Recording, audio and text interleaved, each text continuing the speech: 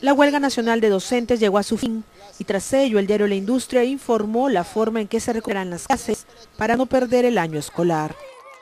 De acuerdo a la ministra de Educación, Marilu Martens, 10 regiones ya han presentado su plan de recuperación, en el que se establece cómo se recobrarán las horas perdidas por la huelga nacional, así como los descuentos que aplicarán a los maestros que no asistieron a sus centros laborales. A nivel regional, las autoridades reiteraron que de todas maneras se aplicarán los recortes salariales y la reintegración se hará de manera progresiva de acuerdo a cómo avancen en la recuperación de clases.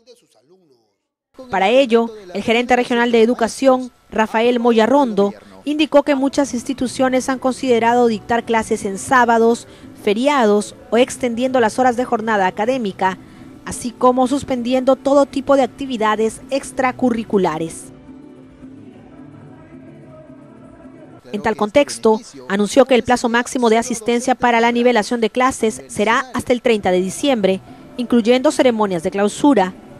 En cambio, los educadores que acataron la medida de fuerza tendrán la obligación de asistir hasta la primera semana de enero para efectuar coordinaciones administrativas. Cabe precisar que, excepcionalmente, las actuaciones para entregar diplomas de honor y reportes de notas se realizarán durante los primeros días de 2018.